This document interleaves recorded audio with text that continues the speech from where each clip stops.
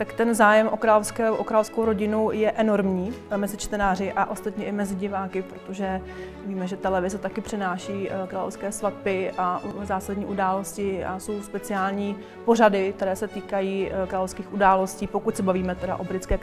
královské rodině, samozřejmě Evropa má spoustu jiných ehm, královských rodin, ale tahle ta je jakoby nejzásadnější.